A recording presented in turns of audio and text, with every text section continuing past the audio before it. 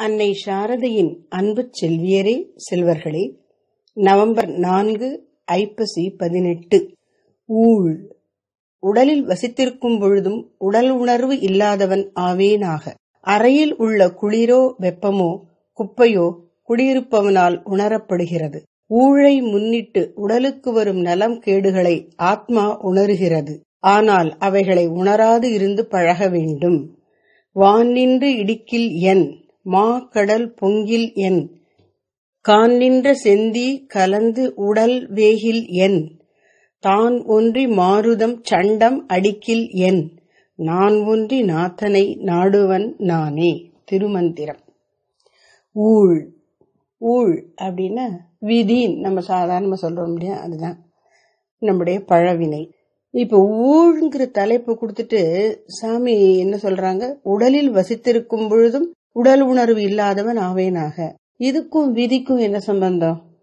இப்போ நாம இந்த உடலை எடுத்து இந்த உலகில் வாழ்வதே நம்முடைய பழ வினைகளை எல்லாம் தேய்ப்பதற்காகத்தான். இப்ப ஒரு ஐடி கம்பெனியில இருக்கிறவங்கள இந்தியால இருந்து அமெரிக்காவுக்கு அனுப்புறாங்க. ஒரு நாலு மாசம் தங்கி இந்த திட்டத்தை ப்ராஜெக்ட முடிச்சிட்டு வரணும் அப்படின்னு சொல்லி அனுப்புறாங்க. அவங்க இருந்து அந்த வேலையை செய்துட்டு வராங்க. அவங்க அங்க அனுப்பப்பட்டது எதுக்காக? அந்த காரியத்தை திட்டத்தை முடிச்சிட்டு வர்றதுக்காக. அது மாதிரி இந்த வாழ்க்கைங்கிற ப்ராஜெக்ட்ல இன்னென்ன இன்பங்களை நாம அனுபவிக்கணும் இன்னின்ன துன்பங்களை நாம அனுபவிக்கணும் அதற்கு ஏற்ற உடலை எடுக்கணும் அதுக்கேற்ற அம்மா அப்பா கூட பிறந்தவங்க சொந்தக்காரவங்க அல்லது ஒத்துரு இல்லாம இருக்கிறது செல்வம் அல்லது வறுமை இந்த மாதிரி எல்லாம் நமக்கு அமைகிறது. அப்போ ஊழ் என்பது நாம் செய்த முன் வினையை அனுபவிப்பதற்காக. இப்ப நாம பிறவி எடுப்பது உடல் எடுப்பது. அப்போ இப்ப சாமி சொல்ற வார்த்தை நினைச்சு பார்ப்போம். உடலில் வசித்திருக்கும் பொழுதும் உடல் உணர்வு இல்லாதவன் ஆவேனாக. உடலில் வசித்திருத்தல்னா என்ன? உடல்ங்கிற ஒரு கூட்ட ஒரு இடத்தை நமக்குரியதை வைத்துக்கொண்டு யார் வசிக்கிறா? அந்த ஜீவனாகிய மனசு வசிக்கிறது. மனது வசிப்பதற்கு இடம் இந்த உடல். அந்த உடல் வசிப்பதற்கு இடம் இந்த உலகத்துல ஏதோ ஒரு சிறு பகுதி. இப்ப உடலில் வசித்திருக்கும் பொழுதும் உடல் உணர்வு இல்லாதவன் ஆவேனாக. இப்ப குளிருதுன்னா உடல் உணர்வு நமக்கு வருது நடுங்குது. அல்லது வெப்பம் ரொம்ப இருக்குன்னா உஷ்ணத்துல ஒரே வேர்த்து கொட்டி கசகசன்னு இருக்கு உசு புசுன்னு வரும். உடல் உணர்வோட தான் நம்ம எப்பயுமே வாழ்ந்துட்டு இருக்கோம். ஆனா பக்குவமடைந்தனுடைய அடையாளம் என்னவா? உடல் உணர்வு இல்லாதவன் ஆவேனாக. எப்போ? உடலில் வசித்துக் கொண்டிருக்கும் போதே. உடலை விட்டு போன அப்புறம் இல்ல. உடலில் வசிக்கும் போதே அந்த உடல் உணர்வு ஒன்னை ரொம்ப தொந்தரவுபடுத்தாமல் இருக்க வேண்டும். அதான். அறையில் உள்ள குளிரோ வெப்பமோ குப்பையோ குடியிருப்பவனால் உணரப்படுகிறது சாதாரணமா. எப்படி? அறையினுடைய குளிர் வெப்பம் சீதோஷ்ண நிலை அங்க குப்பை இருக்கா அல்லது சுத்தமா இருக்கா? இதெல்லாம் அதுல இருக்கிறவனுக்கு புரியுது. அதே மாதிரி ஊழை முன்னிட்டு உடலுக்கு வரும் நலம் கேடுகளை ஆத்மா உணர்கிறது. இப்ப நமக்கு புரியுது இல்லையா? ஊழை முன்னிட்டு முன் வினையை முன்னிட்டு ஏற்கனவே செய்த நற்கருமங்கள் தீய கருமங்கள் இவற்றில் எவற்றை அனுபவிப்பதற்காக நாம் இப்பிறவி எடுத்திருக்கிறோமோ அதுவே நமது ஊழ் வினை.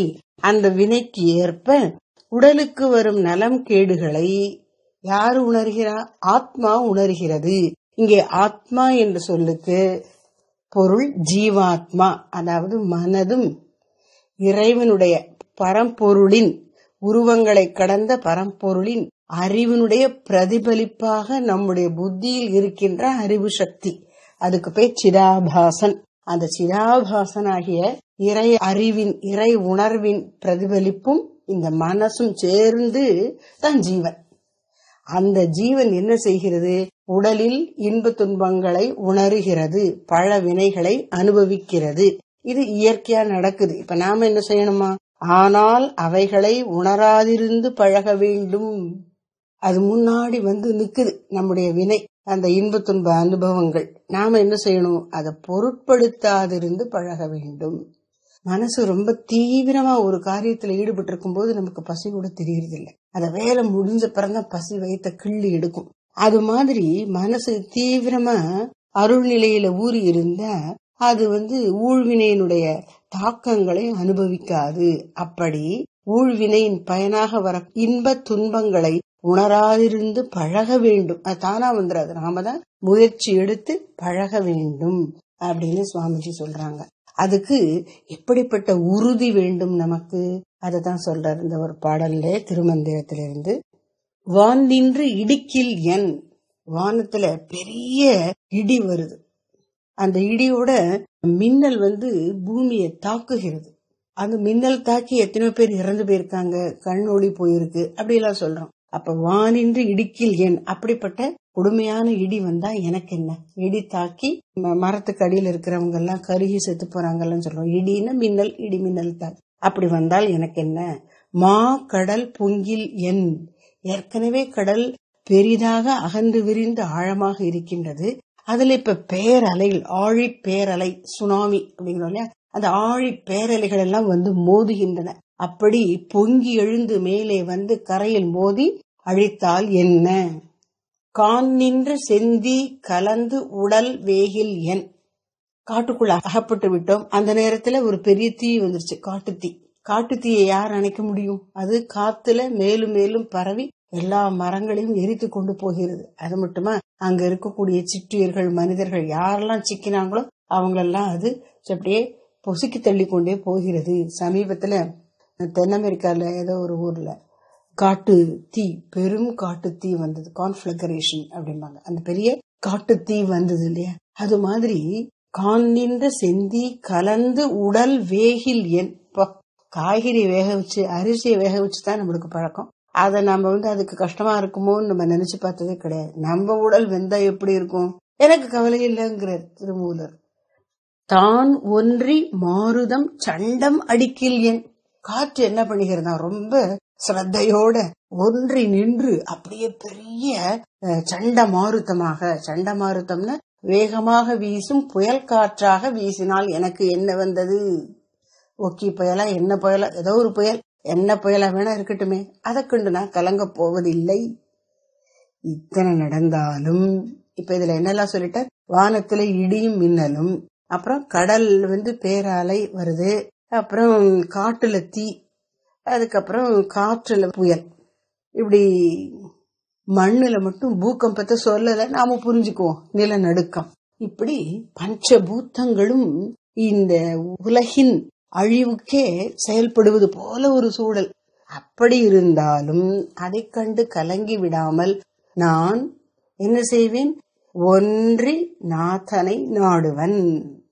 ஊன் கலந்து உயிர் கலந்துங்கிற மாதிரி அப்படி இறை உணர்வோடு கலந்து அவனையே உணர்ந்திருப்பேன். இந்த புறத்துல இருக்கக்கூடிய இந்த இடி மழை வெள்ளம் புயல் தீ அலை இதுகளெல்லாம் எதையுமே நினைக்காம நான் வந்து இறை உணர்வில் ஒன்று இருப்பேன்.